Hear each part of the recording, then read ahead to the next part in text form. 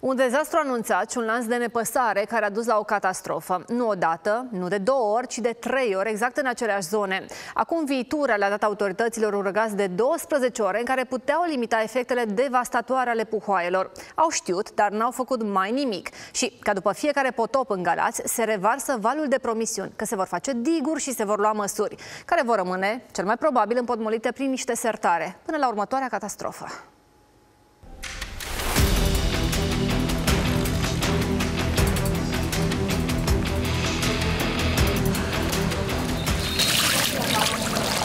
Spăimântător. A venit apă cu putere mare, nu? Ai, cum să nu, vine tocmai de la deal, vă dați seama. E numai nisip, nu așa ceva n-am văzut.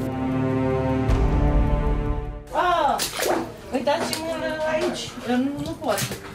Când mi-a răsturnat, uitați, dulapul de bucătărie care era acolo, e venit așa, care are în el oale, vase. Nu vă, nu vă pot spune, nu vă pot spune. Sfârșitul lumii a fost.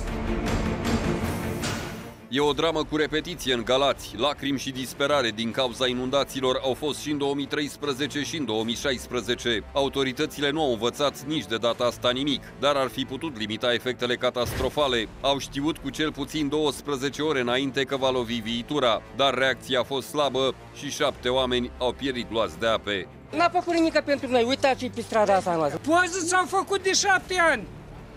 Și unde sunt? În sertare la ei. Nu la Noi, uitați. fața locului. Vineri la prânz, ministrul mediului convoca o ședință de urgență. Hidrologii de la INHGA au estimat încă din cursul dimineții că există anumite cursuri de apă unde erau uh, bine subliniate râurile care ne-au făcut probleme uh, câteva ore mai târziu. Conform procedurilor, avertizările ajung imediat pe masa Departamentului pentru Situații de Urgență și GSU.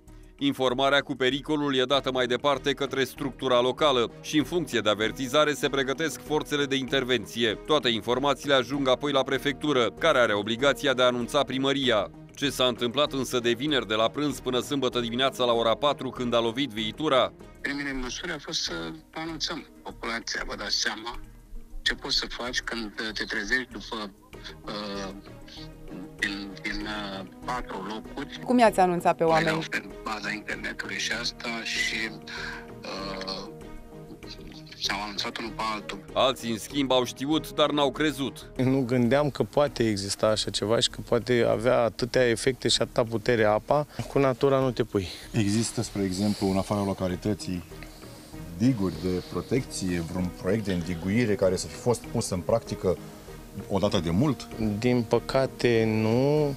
Uh, repet, nu ne-am confruntat cu așa ceva niciodată. Semne au fost și s-au acumulat până la revărsarea puhoaielor. La momentul ăsta n-au fost decolmatate de 30 de ani. Apa au fost de 5 metri și au dat peste dig și mi l-au rupt și l-au adus da. toată apa aici. S-au făcut sesizări nenumărate și noi și șefii de asociații din 2013. În 2013 tot la fel au fost.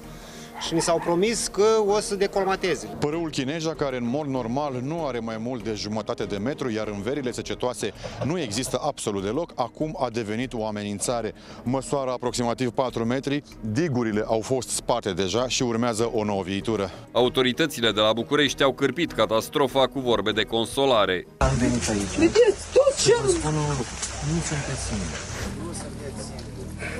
forțe a intrat în interior de a făcut toate chestiunea.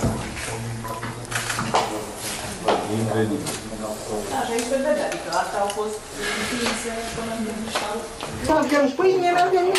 Alea vin, Mi-au venit. vin toate, și pâine și toate vin în seara asta, vor fi toate. Nu doar dezastrul e cu repetiție. Un deja viu sunt și promisiunile autorităților, care s-au transformat în apă de ploaie. În 2013, 9 persoane și-au pierdut viața din cauza inundațiilor în aceeași zonă. Uite, n-am făcut 30 de ani și trebuie să fie necaz, să moară oameni, să le distrugă casele, ca să facem. Iar mai mari zilei picurau speranța atunci, ca și acum. A fost o superbă biblioteca școlii.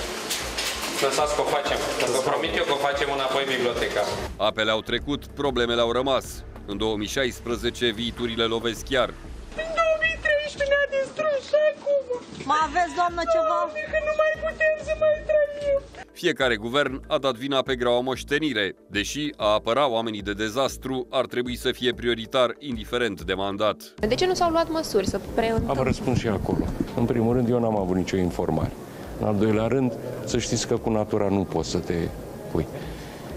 În acest moment, în schimb, am mutat toți specialiștii și de la Iași, fiindcă ei țin ca și organizare administrativă de Iași și experții de la, de la apele române din, din București. Am făcut o solicitare și către mediul academic la Universitatea de Construcții să vedem dacă se poate lua sau se pot face anumite investiții ca să nu se mai întâmple acest lucru. Ar urma să fie terminat, nu se știe când, un proiect pentru construcția unui baraj care să protejeze în viitor localitățile inundate din Galați. Sistemul hidroameliorativ din zonă, barajul de la Suhurlui, început în 1975, a fost abandonat în 1991, după ce a consumat aproape un miliard de dolari. Soluția provizorie ar fi micile baraje care să oprească apa de ploaie scursă prin văi și astfel să împiedice formarea viiturilor. Au fost și până acum, dar statul le-a abandonat de decenii. Este nevoie de o regândire până la nivelul um, o regândire a intervențiilor până la nivelul planurilor de amenajare a teritoriului, consolidarea digurilor existente, extinderea, uh, extinderea acestui sistem de diguri în zonele în zonele vulnerabile. De asemenea, construirea unor zone de retenție a volumelor mari de apă. Până atunci, în continuare, doar speranța oamenilor aflați în calea apelor se face dig.